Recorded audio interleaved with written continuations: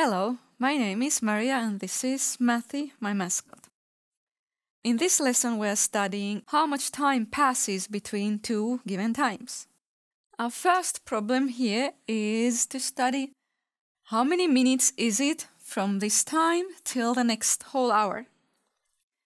And here we see, okay, actually we don't need to know what time it is exactly. We just need to figure out the minute hand moving from here all the way over there, right? I can do that in several parts. I can first figure out that, okay, this much is two minutes, right? And then from this to this, there would be five minutes. And then from here till there would be half an hour. So in total we get the 30 minutes and 5 and 2.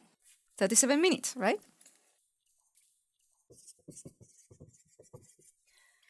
It's always a good strategy that you imagine moving the minute hand.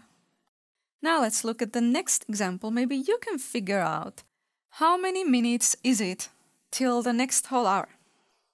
Maybe you have just started, say, a math class and uh, your class will end at the next whole hour. So how many minutes are left of the class? We can do the same thing and figure it out in parts, right? There would be one minute right there. And then from here, there would be 10 minutes, 5 and 5. And then from here all the way over there would be the half an hour or 30 minutes. So 30 minutes, 41. 41 minutes. So most of the class is still left. And then over here, how many minutes pass from this time till 5.50? What time is it now? Oh, yeah, Mathy, you're gonna tell me it's... Oh, okay, you're telling me it is 5.17.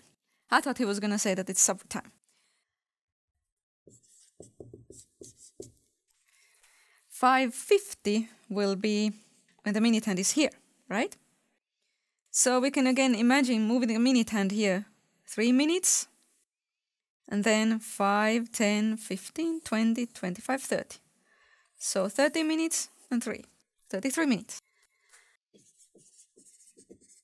Can you think of another way of solving the same problem?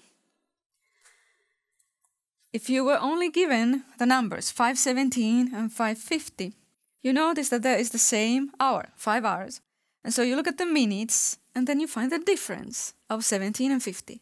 So you can subtract 50 minus 17, 33. Next one. From this time till 420.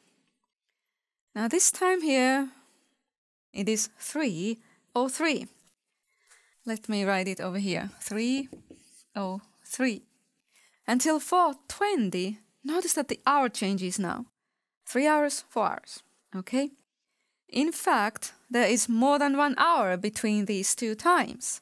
Because if there was exactly one hour, then we would have four three. So it is one hour and some more, right? If we go exactly one hour, then we would have four three here. And then we go from the 03 till 20 minutes. And you can subtract the 20 minus 3, 17. So we would get 1 hour 17 minutes, right?